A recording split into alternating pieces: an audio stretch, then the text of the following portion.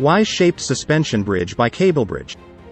Situated in mountainous surroundings in Korea, this spectacular bridge opens accessibility to the public, and is most certainly a new destination for hikers and bridge fans alike. The Y-shape refers to the special plan layout with three suspended bridge decks, meeting in a central node. It is a breathtaking solution, both structurally and in appearance. The judges acknowledge the complexity and the design preparation, involving advanced dynamic analyses, loading and vibration, tests, as well as the necessary use of non-conventional construction methods.